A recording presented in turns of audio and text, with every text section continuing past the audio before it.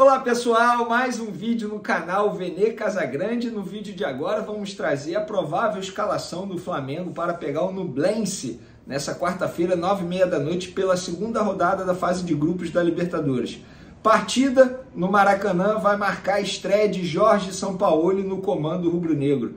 E a gente vai trazer aqui a provável escalação do Flamengo e vamos trazer também informações importantes envolvendo Rodolfo Landim, ele voltou a falar do Jorge Jesus, defendeu o clube se tornar SAF, falou muita coisa na reunião do Conselho Deliberativo do Flamengo na última noite. E vamos trazer aqui os detalhes dessas informações no vídeo de agora. Mas antes, galera, você aí que está buscando uma casa de apostas para fazer uma fezinha e ganhar um dinheiro no jogo do Flamengo contra o Nublense, sejamos francos, galera, jogo tranquilo para o Flamengo vencer e não sofrer. É jogo até para goleada. E lá no site da KTO estão dando uma grana boa em goleada. É isso mesmo. Eu e a KTO aqui, ó, queremos saber. O Flamengo marca mais de 4,5 gols hoje?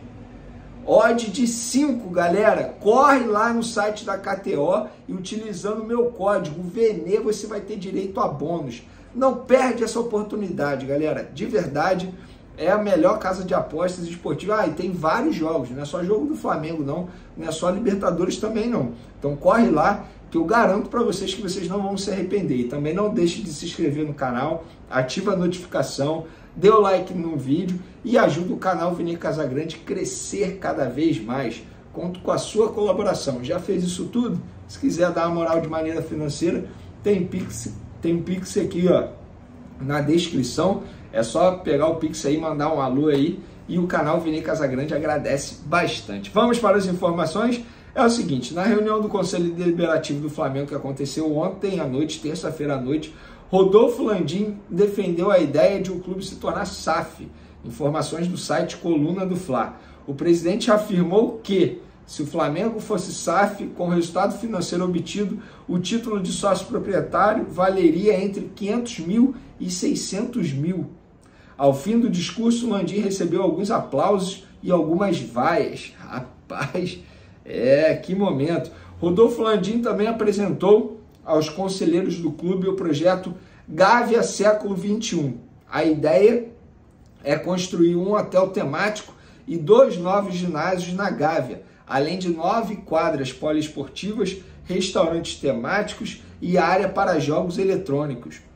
Parece ser bacana. O projeto também visa a, poss a possibilidade do time principal do Flamengo treinar no local, com uma maior infraestrutura, com arquibancada. Outro objetivo é também revitalizar totalmente o campo da Gávea, com arquibancadas, enfim, etc., que de fato o campo da Gávea hoje não vive num bom momento, além de construir um estacionamento subterrâneo. O orçamento previsto para as reformas é de 152 milhões. A sede seria autossustentável, tendo custo zero para o clube. Bacana. Aí tem um outro ponto aqui na reunião. Nessa reunião que estava acontecendo, Rodolfo Landim apresentando o projeto para, é, para os conselheiros, esse projeto, ele falou também do Jorge Jesus. Porque nessa reunião os conselheiros aproveitam para fazer muitas perguntas. E o Rodolfo Lange, a gente sabe como ele administra o clube. Ele não dá entrevistas coletivas, ele não abre espaço para ser questionado pelos jornalistas, muito pelo contrário. Tanto é que ele esteve na presença lá do, da, na apresentação do Jorge Sampaoli. Ele iniciou o discurso, mas não abriu perguntas para ele. Então o Rodolfo Lange é assim ele presta é, satisfação aos conselheiros no dia a dia. E nessa reunião ele foi questionado sobre Jorge Jesus. E o Landim respondeu: ele, Jorge Jesus, deve agradecer mais ao Flamengo do que o Flamengo a ele. A gente continuou dando certo quando ele saiu e ele não deu tão certo quando saiu daqui. Queria saber a sua opinião, torcedor do Flamengo. Você concorda com essa frase que o Rodolfo Landim disse? Eu vou repetir. Ele, Jorge Jesus, deve agradecer mais ao Flamengo do que o Flamengo a ele. A gente continuou dando certo quando ele saiu e ele não deu tão certo quando saiu daqui. Na verdade, o Jorge Jesus não deu certo ainda, em nenhum lugar. No Benfica, o trabalho dele foi fraco, no Fenerbahçe, o trabalho dele também não está sendo mil maravilhas, não. Pelo contrário, a torcida turca lá, a torcida do time turco, vive pedindo a saída do Jorge Jesus. Não tem muita moral lá, não.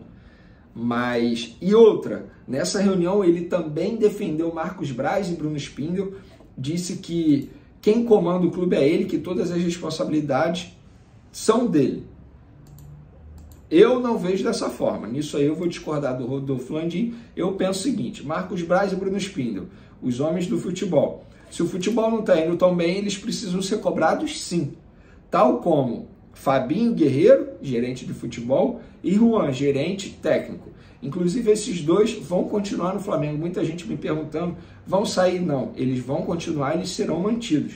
Mesmo o Jorge Sampaoli trazendo uma espécie de coordenador gerente na comissão dele mas esse coordenador gerente é o braço direito do São Paulo, onde ele vai. Não adianta, ele leva em todos os lugares, em todos os clubes, Jorge São Paulo leva esse cidadão junto com ele. Agora vamos falar do jogo, falar em São Paulo. Tem a estreia dele nessa quarta-feira contra o Nublense. Com todo respeito ao Nublense, fazendo a sua estreia na Libertadores. É jogo para o Flamengo golear e pensar em saldo de gols. Tendo em vista que já perdeu a primeira partida na estreia contra o Alcas fora de casa não era um jogo para perder, perdeu. Agora o Flamengo, além de fazer os três pontos, tem que golear dentro de casa. É o que eu penso. Mais de 40 mil ingressos vendidos, casa cheia, estreia de São Paulo. É, e o provável time do Flamengo tem três zagueiros, tá, galera? Jorge São Paulo, portanto, mantendo esse esquema. Provável time segundo GE.com. Santos no gol, Varela ou Wesley, Fabrício Bruno, Léo Pereira, Davi Luiz e Ayrton Lucas, Thiago Maia, Gerson, Everton Ribeiro, Gabigol e Pedro, juntos, segundo o GE.com. Eu, particularmente, não tenho nenhuma informação de time até o momento, só tenho a informação que eu passei para vocês que Bruno Henrique está fora por uma questão. Ele não está lesionado novamente, isso está dentro do planejamento da, do Departamento Médico do Flamengo. Ele vai voltar de maneira gradual. Vale ressaltar o seguinte, gente: o prazo de retorno dele era de um ano, ele voltou em 10 meses. Entre aspas, tem essa gordura de dois meses aí que faz o departamento médico do Flamengo ter mais cautela com ele. E tá certo. Tem que ter cautela mesmo. Ele ficou um longo período longe dos gramados. Não julguem isso, pessoal. Eu, ontem, quando eu noticiei, vi muita gente questionando o departamento médico falando é mentira, ele se machucou novamente, estão escondendo. Gente, calma, não é isso. De verdade, ele está bem. Só que isso faz parte do planejamento para o retorno dele e vai acontecer de maneira gradual. E a Rascaeta, como eu já disse, está treinando com bola, está fazendo o trabalho de transição. Em breve ele volta aos gramados. E aí, amigo, eu quero ver o Flamengo com São Paulo, Arrascaeta, não tem jeito. Timaço, confesso que eu estou animado para ver o São Paulo à beira do gramado comandando o Flamengo. Valeu, galera! Um beijo, um abraço e fui!